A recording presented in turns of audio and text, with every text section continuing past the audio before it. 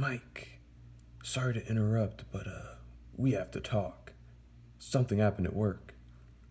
Look in the bag. What bag? We have a problem here.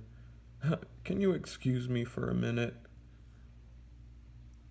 Ah! It's huge! Ah! Help! Oh, oh no. I have an idea.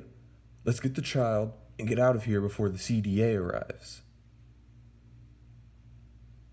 Sully, I can lose everything. Everything I've ever worked for. Gone. Over a child, a creature, a monster. Ah, don't don't touch that. Mike, please calm down. Help me. We can think something through.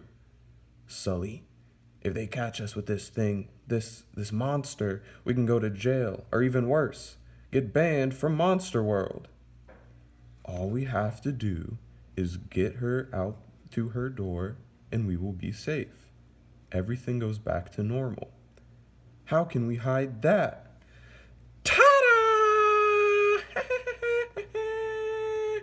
Oh, ah, ah, wah, wah, wah.